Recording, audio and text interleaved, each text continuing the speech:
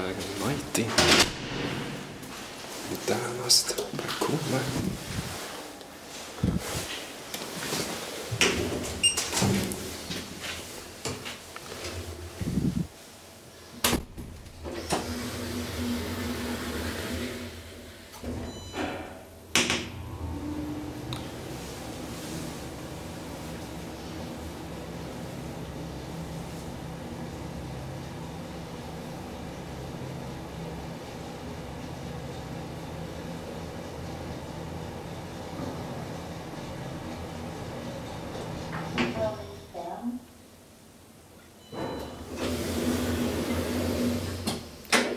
The floor indicator doesn't work.